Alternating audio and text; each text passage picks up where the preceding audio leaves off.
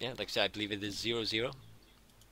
This isn't a game that we were meant to cast, guys, so we're just casting it.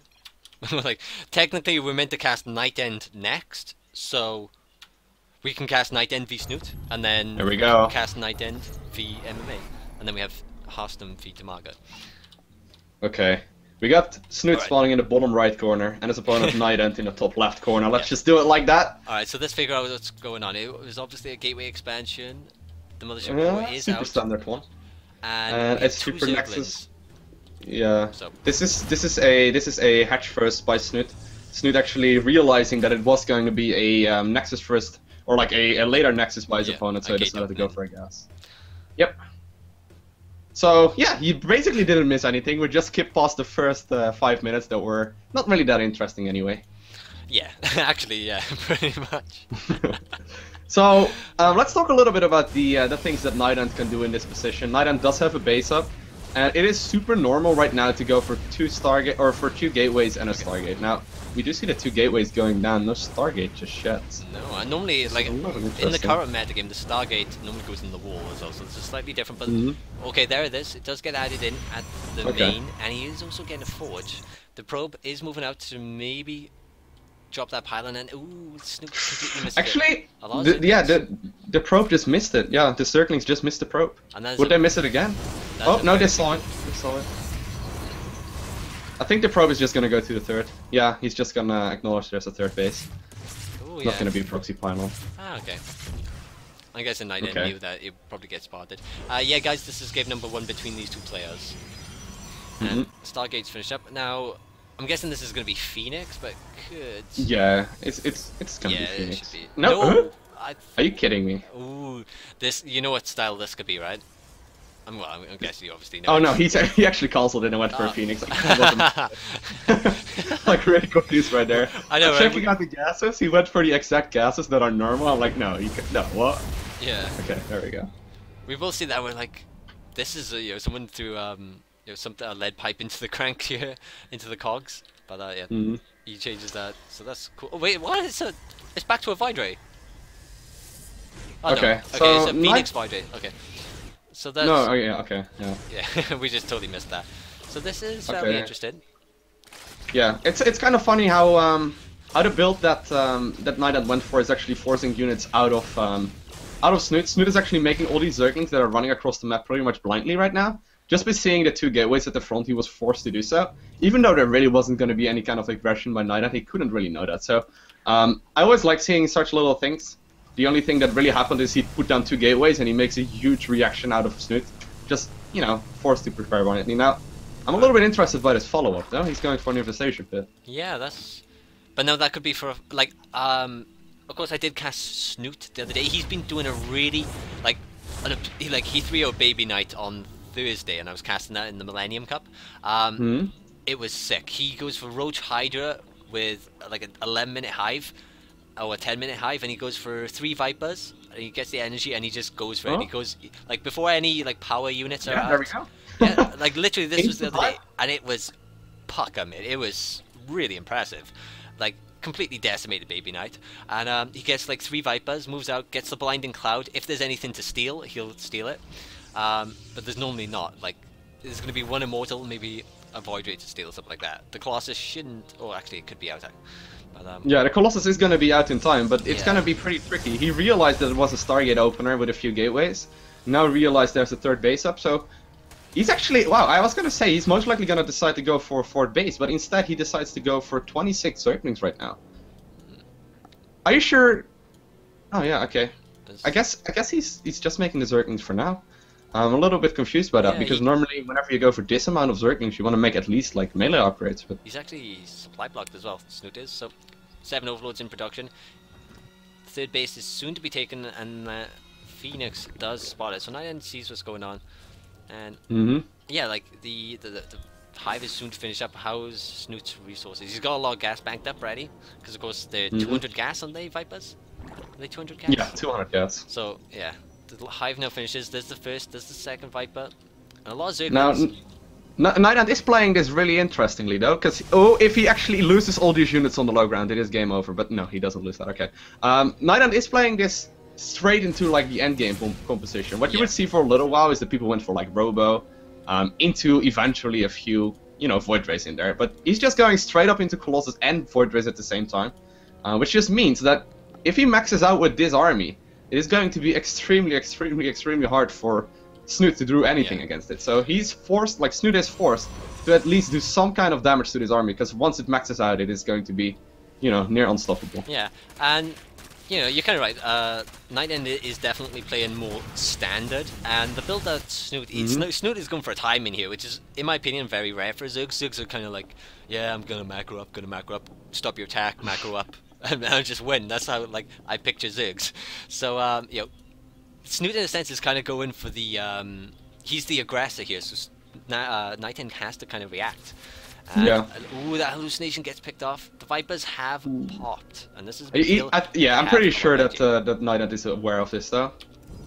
You've seen It basically hype, all yeah. comes down to this fight. But if don't- if yeah. Snute manages to get a good fight right here, it's going to be super super tricky to win this one. And Snute is set up for amazing concave. Units running from every position. There's two classes a Oh, Mothership Core, and no, the Vipers. no, Are they gonna no. get the abductions? There's a lot of Ooh, Vipers, this is actually- Vipers. That actually went in Night End's favor. I'm surprised. Yeah, uh, Snute not Here we go. committing. Is he gonna go for it? He is attacking the third base, assuming a bit more. And charge does run out. This is actually. I'm a uh, little bit confused by all yeah. these Zerglings. Those Zerglings do absolutely nothing versus this. I think he was scared earlier, so maybe he added them. Um, but you're definitely Ooh. right. The energy is really banked on these. Oh, here we go. Get ready. There is a Blinding Cloud going down as well as the Abduct. Now, Uh, obviously, Blinding Cloud does not hit air, so this is actually a terrible fight right there for Snute. And he is. I actually thought there was going to be no way he could lose that. Yeah, I like at first I think so. Like he, he had an amazing concave. He went for like a three pronged attack, and then Mhm. like some of the units run into the third and started attacking the third, and it kind of fell apart. Um, Mhm. Now let's not let's not overtalk it though, because there's still a coloss or there's still an Ultralisk follow up. There's Yeah, still oh, yeah. four bases mining. It's definitely not out of the game whatsoever. Oh, like he's still far far ahead in supply. hell no, he's still looking good. NightEnd doesn't have his fourth yet. He is getting his high Templars. Classes are in production still, and of course he is getting his plus two weapons. Snute getting his Mhm. two two, and Carapace is very close to finishing a missile behind it, and Kindness is in production for those those altars. So this is still very scary, but. Because Night End held that attack and didn't really lose too many resources, like the supply gap is getting smaller and smaller, and this is gonna get harder and harder. In my opinion, I'd still say Snute is ahead, or at least definitely even.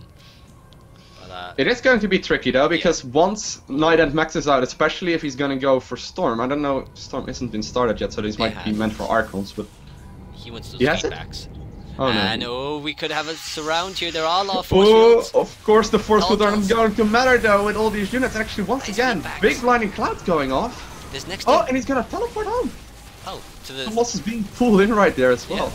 It does get picked off. There's actually next to no anti-air, so the Void Rays can do a lot of damage. There's what, like seven Hydras? Ooh. Seven Hydras and like five Void Rays? Okay, this fight is really important right here. Nice hallucinated Colossus right there, soaking up a lot of damage, but indeed, those Void Rays are doing so much damage. He started firing the third though, if he gets the third, that would be a big, big deal because that's where all the 400, income is. 300 is Oh. dropping fast. 100 is about to fall. It Okay. does.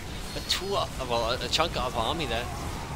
Now he needs to survive the counterattack. If he manages to survive the counterattack, he will be at a significant advantage. 18 Because there's no fort base down. He's now getting Yeah. his, his melee attack over his plus three missile attack, so that's interesting. I guess. Yeah, he I decided that he probably doesn't want Yeah, it. Yeah. he's going for that.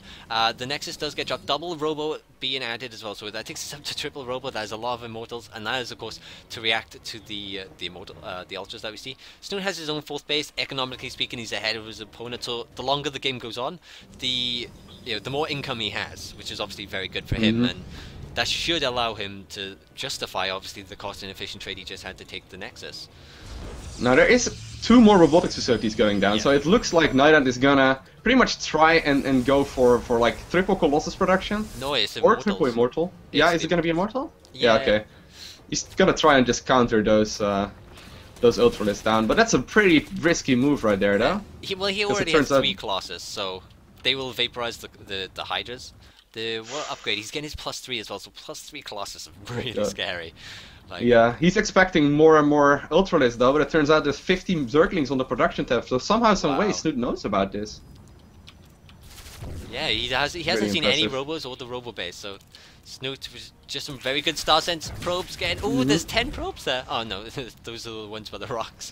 And He doesn't want to engage quite yet, though. There's High Templar, actually. The Storm will be able to go down. Oh, it's There's no actually... Storm. oh, it's just feedback. There's no And he's not morphing them into Archons either. Feedback gets Oh. some stuff. The Hydra's taking a lot of damage, so they do get the cancel on the base. And the Ooh. supplies are very even right now. More units getting killed. I think a strong counterattack. Woo! Triple Colossus. Very and oh my god, we have plus one flyer attack. Uh, We have a mirror switch incoming, maybe? Could have 14 I mirrors. doubt that. I well, I, would, I, I don't I don't know. Yeah, it could actually work right got- now. Yeah, oh my god, down. 14 mirrors. He does start them. We have three. Well, How did you know it was 14? you just straight up mentioned 14 mutas and he makes 14. Well, he had 1500 gas. So. so, uh, so how did you know 14? Good guess. but uh, he yeah he starts his plus one. A lot of Zerglings running up, and this could do a lot of damage. If you look at the unit count, it's three. oh, nice block. It's three Stalkers and five. Yeah, five Voiders, one Phoenix. I'm with that. Sorry. Super unexpected switch right there. He's not expecting this in the slightest. There's pretty much only Colossus and, you know, Immortal Yeah, production going on. No cannons at the third. There's one single cannon in the wall Ooh. and one cannon at the natural. Nothing being moved in yet. The mirrors are flying towards the main. They're not going to get spotted until they're harassing the base of Night Oh god. I don't even It's gonna it's be a small army going to the fort base most likely as well. Yeah. Wouldn't be surprised. Those mutalisks will be able to kill that Oh. upgrade. That is actually a gigantic deal right there. 30 seconds off. That's huge, huge. And it looks like we could have a bit of a, a base trade all in scenario coming.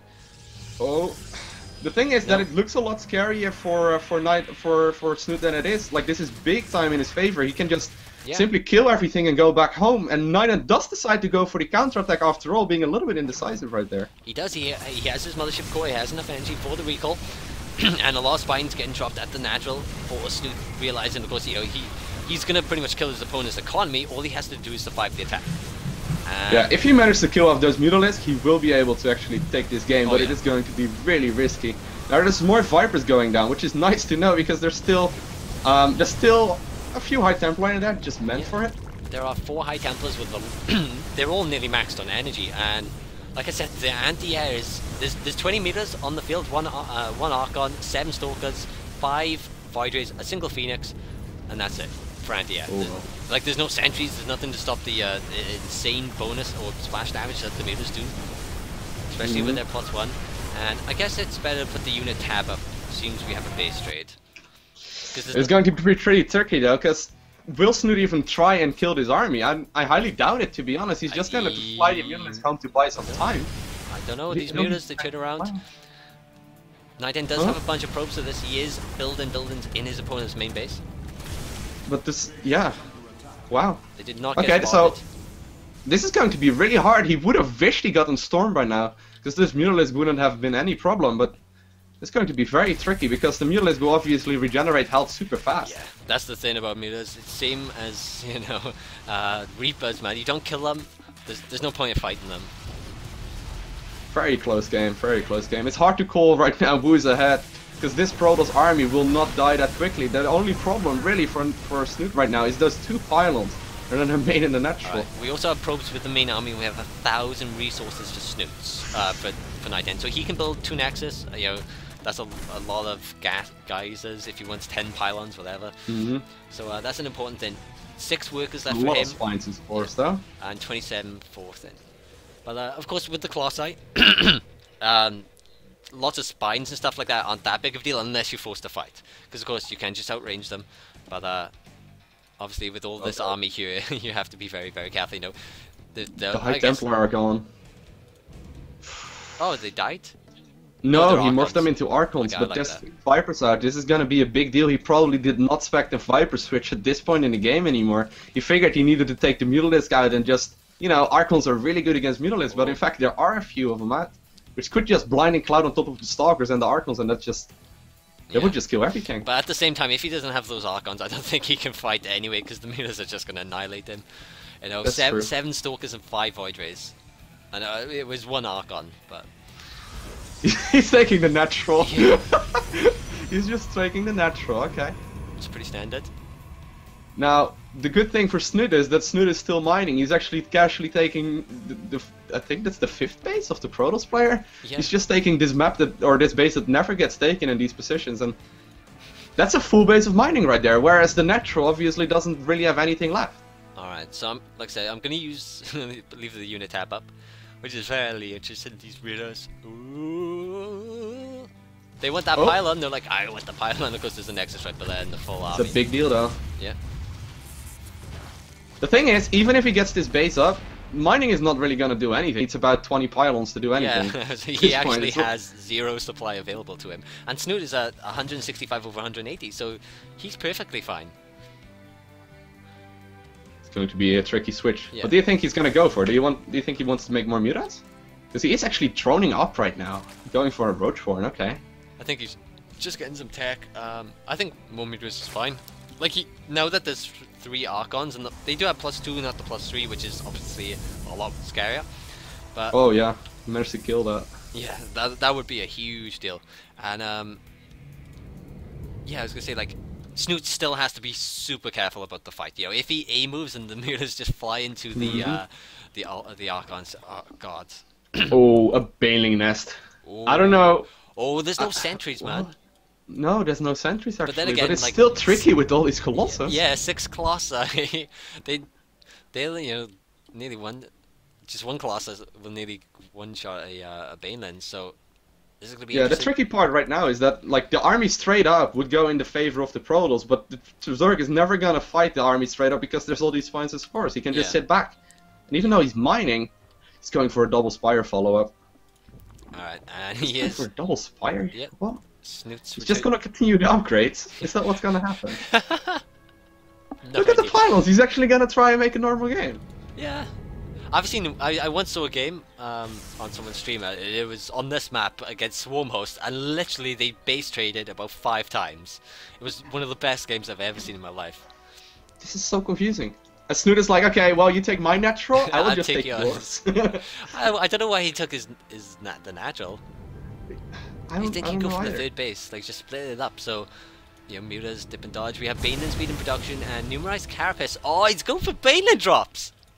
Is he going for Baneling drops? no, he, he would have gotten the drop upgrade first But he only instead has of like one. double oh, no, Oh, ah, You can't, you can't do that. It takes like 18 banelings to kill a colossus or something like that. You know, it's it's not cost efficient whatsoever. Yeah. Okay, here we go. He's gonna try and move out a little bit. Now, obviously, he will need to worry about a counterattack of the Mutalisks, but the Mutalisks are nowhere in position right now. Which is actually a slight mistake, but here we go. There's Vipers. He can actually pull in a few of those yeah, Archons. that's the big deal. Of course, the Colossus have really good range, He's not, he's not risking it. but abduction is. Oh, Ah! this is so good. Ah! Oh shit, he managed to pull three Colossus right there. Instantly one going down, but not the greatest of trades, to be honest. No. But NightEnd has He's gonna try and pull another one. Damage meters, there we are, nice double yoink on that bad boy. Baneling Wow. speed, ooh, 11 meters popping. Ooh. Both players microing really well, though. Snute smacks, Night End. Like he, Snute could send like a single meter just to kill, kill all the probes. But um, yeah, Oh, good. we have a lot Okay. of long range harassment incoming. Abduction. Oh, once again, big abduction going down. Will you be able to target fight those things? Don't clump up the Mulas, because they will obviously die, but it looks like This there's just too much Protoss at this point, or too much Zerg at this point. and GG well played does get called. That was, that seemed